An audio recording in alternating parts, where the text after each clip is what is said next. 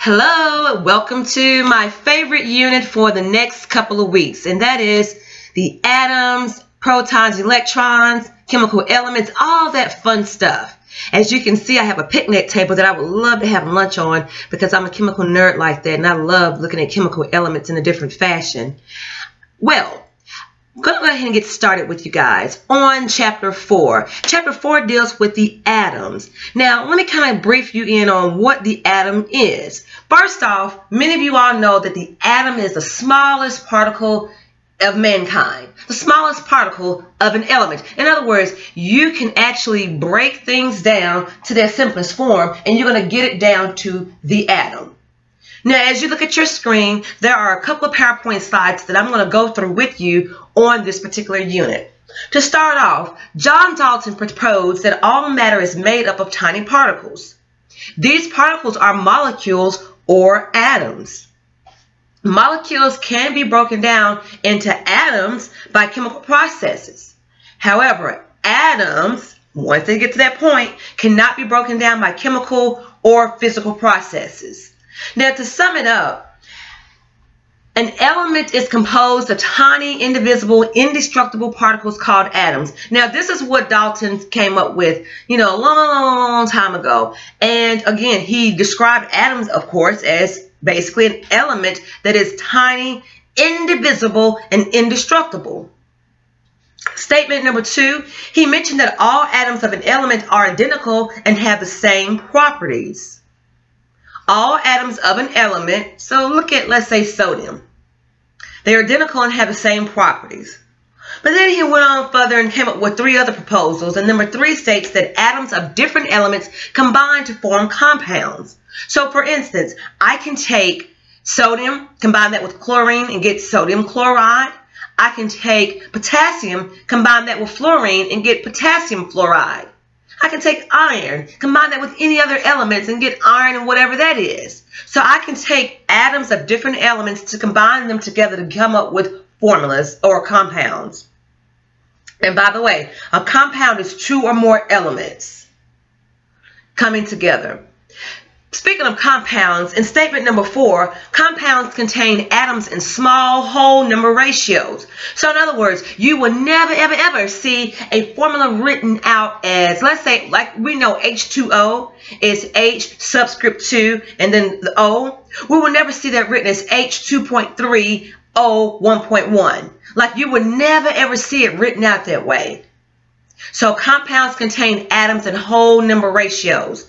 The next one, number five, atoms can be combined in more than one ratio for, for excuse me, for form to form different compounds. Now this is a typo on this screen, so that's why I was stuttering. But again, atoms can combine in more than one ratio to form different compounds. So in other words, I can take H and oxygen, hydrogen and oxygen to form H2O. I can take those same two elements and form OH to give me hydroxide ions. I can also take two hydrogens, two oxygens to form H2O2, and better yet, the last one, H3O to give me hydronium ions. That's a mouthful talking about Dalton's atomic theory. But of course, you have other scientists that come along and say, oh no, that's not right. We need to go ahead and prove your theories wrong. Now, you know, theories can be disproven, okay? So in other words, just because you state something doesn't mean that it's so unless somebody can come and back it up or discount what you've said. So as you can see based on this screen, the first two parts of atomic theory were later proven incorrect. And you're going to see why momentarily. But proposals 3, 4, and 5 hold true today. So here's where we come along finding that there was evidence that those atoms can be divisible. And that was around the 1800s. And as we know, there are three components that an atom must contain. Number one, they must have protons, positively charged protons. It's a P with a plus.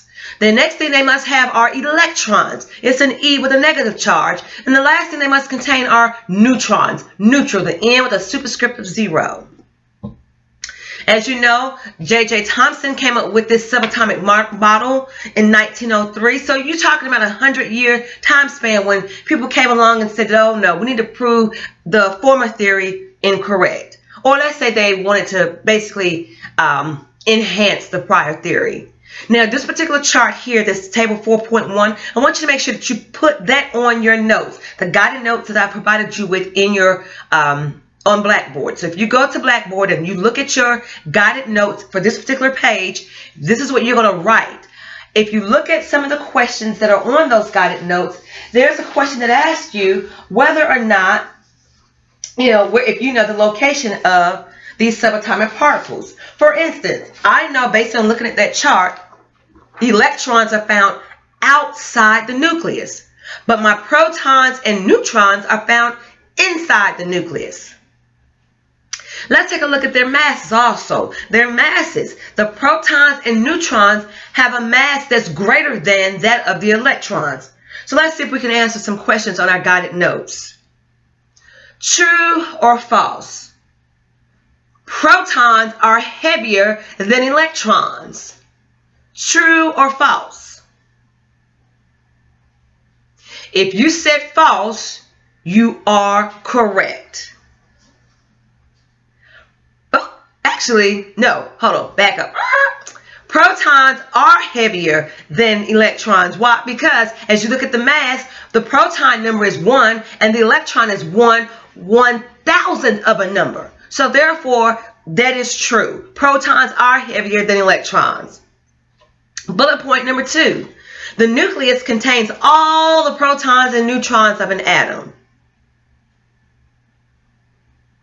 What did you guess? If you said true, you are correct. The protons and neutrons are smack dab in the middle of that nucleus. Bullet point number three, protons and electrons are in the nucleus. Protons and electrons are in the nucleus. Is that true or false? It is false because protons and neutrons are the only thing that's in the nucleus. The only thing that's on the outside are the electrons. the last bullet point, protons and neutrons are outside the nucleus. That is false. Electrons are the only thing that's circulating outside the nucleus. Now, on this next slide, we have some examples based on atomic notation. Now, atomic notation is important because you're going to have to know how to write them out in terms of like shorthanding some of these elements in their in their um, protons and electron notations. So you have atomic notation on this one screen, and you have the isotope notation on the next screen. Now, what is an isotope? Isotopes are basically all atoms that have the same element, but they have also the same number of protons. Most elements occur naturally with varying numbers of neutrons. And why is a neutron different? Well, here we go. Neutrons are different because of their masses. So if the mass is different, then of course you're going to have a different number of neutrons because you're going to have to subtract the atomic mass number from the atomic number to get those numbers of neutrons. correct way to write atomic notation is to provide the atomic mass number on the top, the atomic number on the bottom, and the chemical symbol. I'll provide you with an example that you can see with a real live element from the periodic table. But first, let me give you the isotope notation.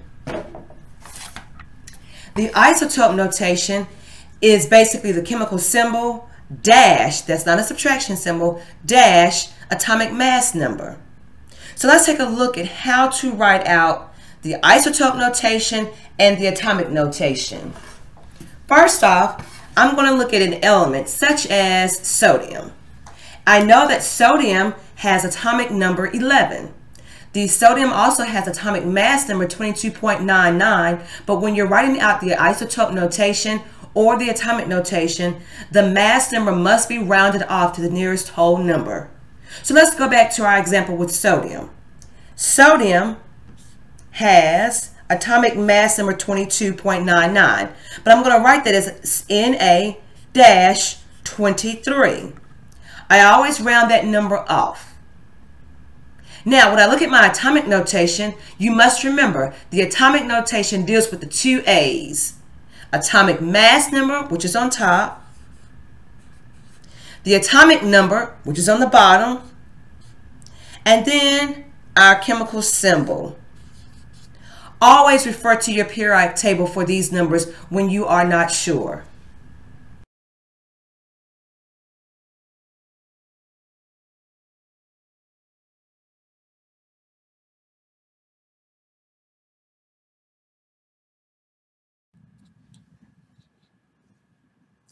Here is an example of a periodic table that has the different types of numbers on them. On your periodic table, you have the atomic mass numbers. These are the numbers that you will see with the decimals at the very bottom of each block. And at the top is the atomic number. Those are whole numbers. This periodic table is very fascinating because there are so many things that you can actually capture from looking at this chart. So if I were to look at, let's say, I'm going to make this a little bit closer. Um, let's say I was looking at going back to sodium over here. As I mentioned before, sodium has atomic number 11, but the mass number is 22.99. Always remember to round off your atomic mass numbers. Now, one thing you want to keep in mind is that the Isotopes of various elements occur naturally in nature, but that doesn't necessarily mean that every element on the periodic table has an isotope. They're all different. I will provide a chart for you at a later time. In the meantime, let's take a look at some more examples. If I look at potassium, potassium has atomic number 19. But if I take a look at that, I notice that potassium, that number 19, also represents the protons and electrons, atomic mass units, and protons, electrons, and neutrons in atomic notation, isotope notation, we have to remember a couple of rules on our sheet. Here you have to calculate the protons and electrons, refer to the atomic number. Keep in mind the following acronym, PEA, protons, electrons, atomic number. They're all the same. To calculate the mass number, you're going to be given the protons and the neutrons. Now, the mass number that you see on the periodic table is exactly that number for that particular element. However, there may come a time where you're going to be given a different proton number and a different neutron number on a chart, such as the one that we're going to do below, that you'll need to add those two numbers together to get your mass number. Lastly, to get our neutrons, you're going to subtract your atomic mass number from your atomic number. And again, please be sure to round off your atomic mass number to the nearest whole number. Let's get started with this handout. Here I give you have given you manganese. The chemical symbol is Mn. The atomic mass number is 55. Again, I got that from my periodic table because I rounded off the number that was there. My atomic number is 25. Protons is 25. Neutrons. Now, in order to get my neutrons, I need to subtract these two numbers here. The atomic number, mass number, excuse me, from the atomic number. And that's where I get the 30 from. My atomic number, protons, and electrons all have the same number, which is 25. To get my atomic notation, I'm going to simply think about my two A's. The atomic mass numbers on top, the atomic numbers on the bottom, and then the chemical symbol is Mn. The isotope notation is just simply the chemical symbol dash the atomic mass number. It's just that simple. Take a look at the next row. The only thing I've given you is 84. This is when you'll have to refer to your periodic table to find the element that comes close to 84. If I look closely at my noble gas group, which is the last column, I get krypton, which is 83.80. Atomic number is 36. So that's where the 84 comes from. So I know it's krypton.